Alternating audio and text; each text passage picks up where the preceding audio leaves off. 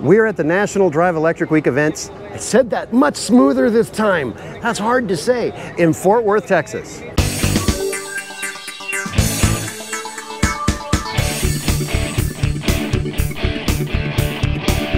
We're in North Fort Worth outside the Tanger Outlets Mall for Fort Worth's or North Texas uh, National Drive Electric Weeks event that is hosted by the North Texas Council of City Governments.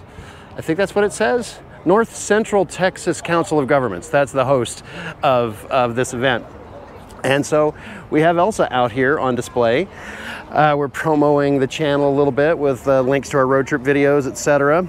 Um, but we've got a lot of different EVs out here. I'm going to show you what's going on at the event and uh, see if we can't talk to some people and actually get good sound on them this year. So first off, let's just kind of walk around and see what video, what uh, what other cars we've got out here. Model S, we've got another Bolt Bias, Mercedes, EV6. Cadillac Lyriq looks great.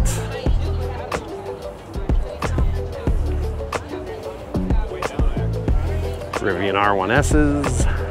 There's supposed to be some R1Ts out here, but they didn't show. Here's where all the Fords are. Got some Lightnings, Mach-E's. And here's the public service. Guy has the uh, Washington Philadelphia football game on, plugged in to his Lightning. Here's the display from Autobahn, which is a German car dealership here in Fort Worth, and they've got the Mini Cooper SE, Volkswagen ID4, a BMW iX, and a Porsche Taycan all out here on display. And two of them are plugged in. Display from Volta with their Polestar. It's another Polestar, and here's a Volvo from Autobahn. Hi, how are you? Hi, I'm Vicki with Pedego Fort Worth. Hi. And we are so excited to be here at the National Drive Electric Week festivities. Uh, we brought our Pedego electric bikes for test rides. For example, this is the Pedego Boomerang. Look at the low step through on this. You barely have to lift your leg to get on this bike. Hardly at all. It's great for people with uh, knee problems, back problems, anything like that. That's both of me. yes, yes, whatever you have, we have an answer, we have a solution. The fat tire bikes people love. You can let the tire pressure down instead of going around a rock, just go right over it. And then you're, it, it just handles off-road or just really bad roads? Um, you know, my daughter rides this in the city. It's just with the tire pressure down, it's kind of a squishy uh, suspension type ride. Oh, and this is my bike. This is the Platinum Interceptor. So this is your personal? Yes, it is. This one will go 76 miles on a charge. I've got lighted pedals. I've got turn signals in my battery. You get turn signals back here. And the battery pack is here under the luggage rack. Yes, it's right here. I don't have it turned on, but yes, so nice bright light, front suspension, Now, 76 miles. how do these, how do they work? Um, they've got a battery. They've got a motor. They got the motor in the hub, which is great. Uh, a lot of the mid-drive bikes pull the chain to make it work. With the motor in the hub, you can throttle these bikes and not even use the chain if you have to. So five levels of pedal assist and a throttle. Five-year warranty, over 200 Pedego stores around the country. It's a thing where you come, ride them, touch them, feel them, have fun. So now your signs say that they, that rent me, but you, Yes. you sell these. We sell them, we rent them, we do tours. We do this tour of Fort Worth. We go uh, from downtown to the stockyards to watch the cattle drive and eat barbecue. And people from all over the world have come with us. It's just a great way to see Fort Worth. It uh, would be nice to ride in one of these around the stockyards or anything like that. What I, where I get really envious about wanting an e-bike like this is when I, we go camping out at a Texas State Park and we see people just cruising around. I'm like, oh, that looks like it would be nice. And you can ride all day and never break a sweat, Yeah, except for today when it's a little warm. today is very warm. today is very, very warm. Well, thank you very Thank much. you. Tell me, tell me about this one here. So this is like Get a first hold. true commercial electric lawnmower. Okay. Uh, we guarantee two hours runtime per battery. Very heavy duty. And it does look like a battle bot. I will fully say that. So commercial like landscapers Yeah. and cool. Exactly. Nice. So this is uh, multi-unit. So this is for apartment complexes. Cool. So we started last year. We're a relatively new engineering team. Um, we basically design, build, and race solar-powered vehicles. And by solar power, I mean completely solar power. So while a lot of people have like external batteries, like many of the battery charging stations you see here, we're not allowed to use any of those. Entire, it's all charged by just solar power. So no matter what, this car is just going to be on the sun. It has no right Yeah. reserve tank or nothing. Yeah, so technically, theoretically, this car could just run forever, but there is the battery component, right? Like the longer we run it, the more, the hotter the battery gets, and at a certain point, the battery can catch fire. So that's where like a lot of our strategy comes around is like making sure we can run as efficient as long as possible without damaging the internal components. So the race then becomes a distance race. Is Yes, that sir. correct? Yeah. So um, many of the other collegiate racing teams focus on like speed, but like as you can see from our design alone, a lot of the concepts that we focus on is the longevity of the race. So we do three different races. The first one is um, FSGP, and that's a lap kind of race style. If you've seen COTA, Circuit of the Americas, it's basically kind of like that. Um, we do a bunch of laps. Whoever gets the most amount of laps, they so they grade us on the most amount of laps. They grade us on like how fast our laps are, and the efficiency. And depending on how well we do within that, we qualify for ASC. ASC is a cross, um, not a cross country race, but it can range about like a thousand to about fifteen thousand miles, and it used to, or it used to start into uh, Topeka, Kansas. We're hoping we can get the race moved this year to Dallas, so at least the moms and dads can come by see the car that like That you guys all spend all your working- time on. Absolutely, that the students have been working so hard on. But um, What kind of drag coefficient are you looking at with this? if I remember, well, I'm the business director. I'll try my best to remember it. About 0.14 or 0.16, which is very normal for cars like these. Um, so this was a donated chassis from Illinois. So we kind of got, we had to kind of modify based on this style that we were given. But we're obviously looking at like the next year is um, trying to bring down bring down that drag coefficient as much as possible. Nice. Um, actually, going off a little bit more on that, so there's a high school team right next to us. So we both work on different timelines. The high school team has a year to both design and build their car, but we only, we have two years, and that's because a lot of our regulations are very very strict safety wise.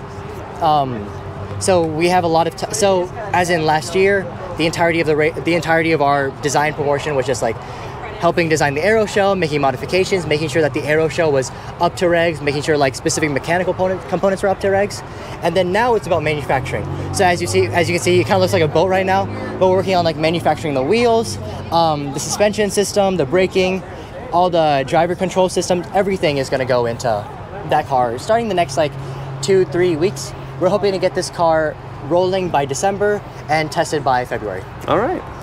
Well, thank you very much, sir. Of course, yeah. Appreciate it. Thank you so much. So this is the Canoo lifestyle vehicle, correct? Yes, yes. And who is this mainly target, targeted for? So our main uh, market for these vehicles, uh, we have an ability to tailor the solutions to whoever the user are. So these cars are built to order. So if let's say, for example, you have different clients, you have families, we have a uh, baby uh, carriage system to where you have two baby seats back there as well. Um, it really is dependent on what the user's needs are. So if it's a if it's an industrial aspect, we have the delivery vehicle. It's for fleet buyers. That's on the same chassis platform. Uh, you could set it up as a limo style. You could set it up as a as a daily driver. It's whatever the and user. it's kind of set up limo style right now, right? Currently, yes. Okay. Yeah. And what's the range you said was like 215? About 215 plus or minus, you know, depending on conditions. Very nice. And these are made in Oklahoma City. And we have a battery plant in Pryor. so complete. This batteries in, uh, are in Oklahoma. Cars assembled in Oklahoma. It's an Oklahoma van. Yes. Cool, cool. Well, thank you very much, Yeah, sir. of course. Thank you, sir. So this is the conference room aspect of the Canoo, uh, sitting in the back. This is actually kind of kind of comfy. You can kind of see where we're at, and they've got. Uh, turn the camera around. Uh, these seats here pull out on the side. The backs of the front seats pull down, so you can sit on them, and everybody can just kind of sit around and talk. Uh, I could imagine this being a camper. This is an electric bobtail, 100% EV. C electric is the, the electric power side of them. So the city of Dallas behind me is uh, getting ready to incorporate some Chevy Bolts and uh, looks like Ford Escape hybrids uh, into their fleet for things that the city does. They're just not fully incorporated yet, and they're just showing them, but they're back there. North Texas Electric Vehicle Association, we've been around now for about, I think, 15 or 18 years. We were actually around before there were electric cars to drive. Uh, my first electric car was conversion, and that's how I met these guys. I went to one of their meetings, and I had a uh, 1999 Volkswagen Golf that I converted to electricity. And at the time, I would say, uh, when I first started going to the club, that was around 2007, we probably had about five or six converted cars, you know, standard electric cars, and um, so we're- we're just a proponent of education about electric cars, about alternative fuels of all kinds. I mean, we are in favor of electric bikes. We're in favor of hydrogen, hybrid, whatever you know floats your boat kind of thing. There you go. but that's what we've been around for. and how often does the uh, association meet up? We meet up monthly. Uh, we have monthly meetings. We meet over at um, I Drive. I Drive One Electric Cars, or I Drive One. It's a dealership that they actually specialize in uh, reselling electric autom- automobiles. They had a, a display up at last year's event. I remember Yeah, them. yeah, yeah, yeah. And they've been a great uh, supporter. I mean, we, they allow us to come there, and, they, and it's great because every time we go there, he has such a great selection of cars. I mean, the first Rivians we saw, the first Lucids we saw were in, in his lot. The uh, Mach-E, he had a Mach-E before Before he- anybody else had before one. anybody else had one. And uh, it, same thing with the Rivian. We saw Rivian that was one of the first ones that even was on the road. So he has um, uh, a good selection of cars. So it makes it a good place to meet because if you have questions about cars, they're right there and you can see them. You know, just about every flavor. So Nice to nice. Uh, we have we have three uh, EVs in our family. We've got Oh, yeah. our Bolts, uh, our Fiat 500e, and a Harley Livewire. all right, you have a Livewire. That's that's. I mean, how's the Livewire been? It's fun. Yeah. It's super fun. I was going to bring it up here to show, but it's I over know. 90 So degrees. the the Honda, uh, the, the Harley the dealership's Harley dealer's actually here showing one. Now, did you build this thing? I did build this. We had a display board before that uh, showcased how an electric car worked, but it was a little awkward and heavy, and so I wanted to modernize it, and this is the modern version. Cool. So I can give you a quick little rundown. It's Sure. A peek under the hood. So of course our new Cybertruck, and you can lift it up, and then shows you the basic components. You have a high voltage battery, a controller, and a charger, and a motor. That's pretty much what every electric car has. You can do plug it in to show charging, and when we plug it in, we got some LEDs that show up down there that let you know the battery's charging. And then after you unplug the battery, we've got a shifter. You can shift into forward, or you can shift into reverse, and that's pretty much how electric cars work. They're that simple. And you 3D printed this. Yep, every just about every part 3D printed. I didn't print the wire. right. But But yeah, I did. I found uh, online there was a few different. Um, this was a um, RC car, but I kind of brought it back down to its components and customized it a little bit. I got rid of the steering components, and then this was a one tenth scale of a Cybertruck that I printed also.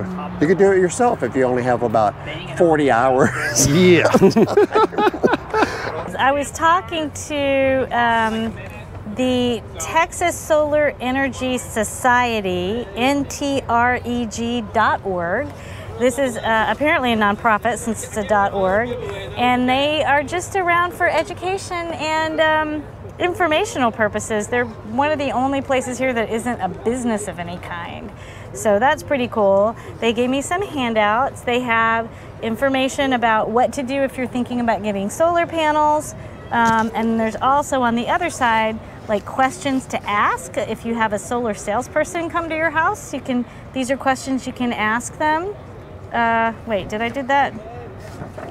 I think I might have Oh, done there, it there. backwards. There's the Yeah. questions to ask Questions right to ask a solar energy salesperson. So, so these are all real important. Obviously, a lot of people are like doing door-to-door things now. So anyway, this is pretty neat. So I talked to the guys. There's a lot of fun stuff going on. Um, the one guy has a house that has not only solar panels, but it has like rain collection and it has a um, geothermal like heating and cooling. And there's a um, there's a, a tour. Uh, there's a tourbyram.net where they're, they're doing like tours of, of solar houses and his house is on the tour.